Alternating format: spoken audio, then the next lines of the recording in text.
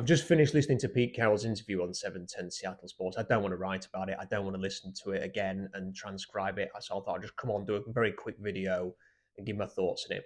I felt that that was a pitch to ownership. I thought everything about what he was saying was a dress rehearsal for the meeting that he's going to have with Jody Allen, presumably Bert Kolde, coming up this week. I was completely wrong and will hold my hands up about my thought last night that Pete Carroll was coming to the end and that he looked like he was perhaps a bit emotional and very relaxed during the game and that he was he would you know that in the next few days we would hear that he's just going to retire. I think based on what we heard there nothing could be further from the truth. He fully intends to carry on.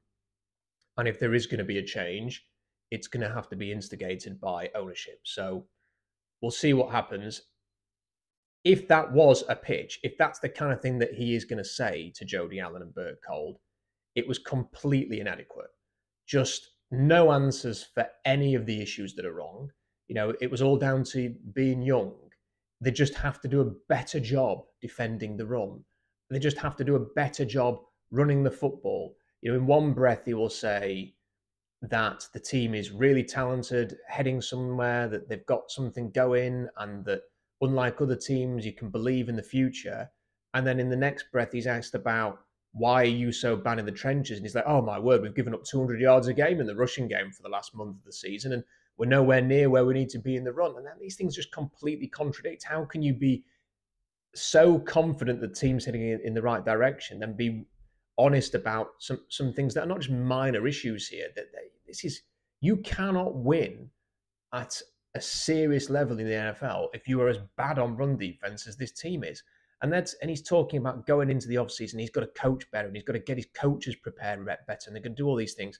Well, 12 months ago, they were going into the offseason talking about fixing the run. And they spent all offseason talking about fixing the run. They spent loads of money in free agency. They were very aggressive in everything that they did. They had a huge draft class again focusing training camp about fixing the run, and they couldn't get it done. So what's going to be different 12 months on, having just seen the same thing happen? They were even ranked worse than they were last year versus the run. So another year of of just saying, well, we've just got to get it right. No, you you need to have some serious answers as to how they get this right. And saying things like just got to coach better. That to me feels like he is going to go into that meeting and saying, look, keep everybody together, run it all back and have another go. Now, the temptation with Seahawks fans will be to hear all of this and then just assume that nothing is going to change and that because Pete Carroll has said all this stuff that it's going to carry on.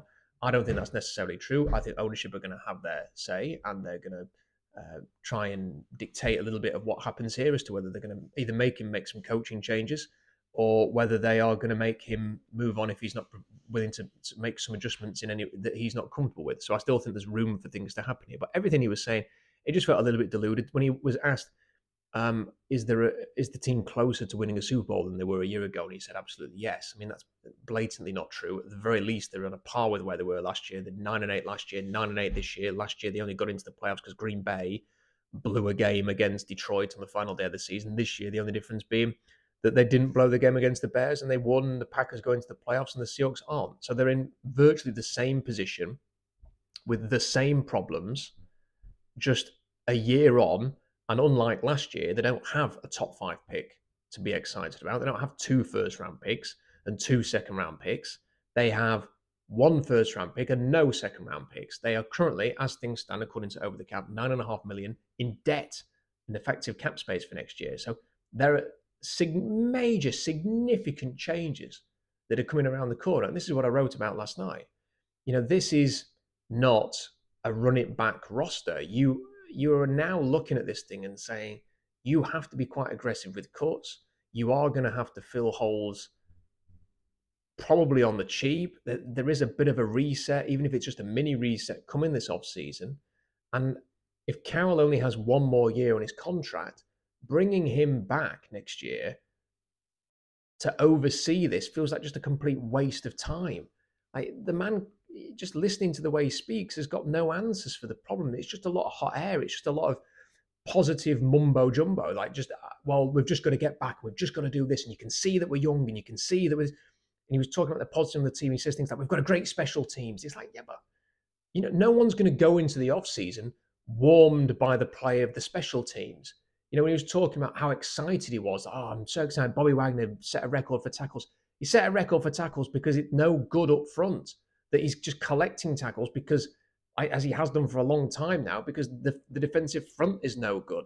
Then he says, oh, Michael Dickson got a 50 yard punt average. Oh, great. Well, that'll keep me excited through the next few weeks. While the other teams are playing playoff games, they thought that the punter had a 50 yard average. And then he mentioned Jason Myers as kicks. And you think, oh, is this where we're at now? Is this all we have to be excited about as Seahawks fans?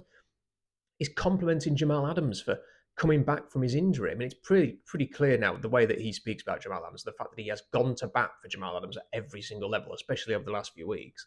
That Pete Carroll, to me, it seems, was the major instigator, major player on that trade. He's a major supporter of J- Jamal Adams within that franchise, and he's desperate to see this work out because he's put so much into it. That's what I would say from that. Just listening to everything about it, it was a thoroughly unconvincing interview, which did nothing to make me excited. If you are convinced by that, then I, I just suggest do yourself a favor and reflect on what you're actually being told. You are just being told positive buzz, buzzwords. It it felt like a man whose complete sole focus and aim is to stay employed and is just saying things that don't chime with reality in order to retain his position. That was the complete gist of what I got from that interview. And it gave me no hope for next year. I don't want to watch another season like this. And if things just stay the same, that's exactly what we're going to get. Now, I do think that Jody Allen is going to have a say in this. And I think that Bert Kolde will. And I, um, John Schneider may even be giving his, giving his opinion on this. And he may feel it's, I don't know what John Schneider feels. I don't think he's going to throw Pete Carroll under the bus, but I think he's going to have to. I hope that he will be honest about this, about where this team is and, and, and what they've been doing. The reports on Sunday before the game against Arizona said that the situation will be evaluated. There has not been any talk about Carroll definitely coming back or anything like this. It, it's impossible to imagine that nothing's going to change, that both coordinators will come back and Carroll and they'll just give it another go. I mean, that would be so complacent of this ownership and would kill any enthusiasm that I have for the 2024 season before the 2023 actual NFL season is even finished. So I still think there is time. There is no rush. That's the important thing to remember. There's no rush here. They couldn't int- if, if, if Dan Quinn's their guy, or even if it was Mike Macdonald or somebody like that, they can't interview him for a couple of weeks anyway. So there's no mad rush to have everything resolved today. We heard Pete Carroll say they had no intention of trading Russell Wilson. And he was saying that right up until the point, he was saying that at the combine, right before the trade actually happened, like days before the trade happened, they had no intention of trading Russell Wilson. So what Pete says today doesn't necessarily mean it's what's going to happen. Just because Pete says he intends to carry on, just because Pete says he thinks they've got a great team and that they're going to turn a corner and they're just young and they just need a little bit more development, we can see, or those of us who are willing to be honest, can look at this team and go, there is not much to be optimistic about at all here. And there's no reason to be optimistic they're going to change the run defense or that this coaching staff, these coordinators are going to turn this around. There's no reason to believe that. And it's just whether ownership share that view that many of us have or whether they are inclined to stick with Carroll and move on. I don't think anything's been decided in that regard yet. But hands up, I was I thought yesterday that Carroll was coming close to the end with his body language and the way that he was uh, talking and looked and everything like that, and it looked a bit emotional at the end of the game. I suggested that it looked like he was coming to end. I got that completely wrong. It's clear from what he said today that at least as of now, he intends to carry on if it's his choice. So it's up to ownership.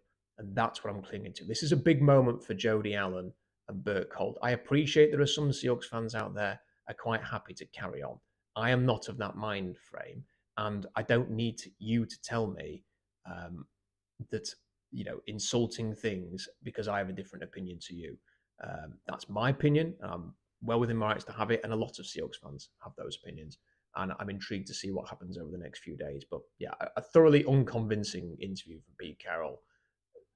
Taught sounded very deluded in some of the things he was saying, and I don't think he's a deluded person. I just think that was self-preservation. I think he was saying what he is going to say to Jody Allen to keep his job, so now it's over to Jody Allen and Bert Kolde. They made a, a change. in coach in Portland after a run of seasons that did not lead to success.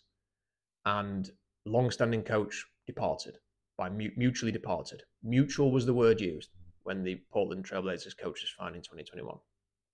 They traded Russell Wilson, so they've been willing to make big calls in the past. Are they going to make a third one now with Pete Carroll? I sincerely hope so because I want to believe in the Seahawks team again.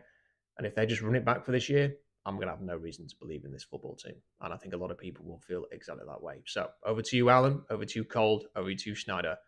Let's see what the next few days bring. But that was a really unconvincing conversation with Pete Carroll earlier today.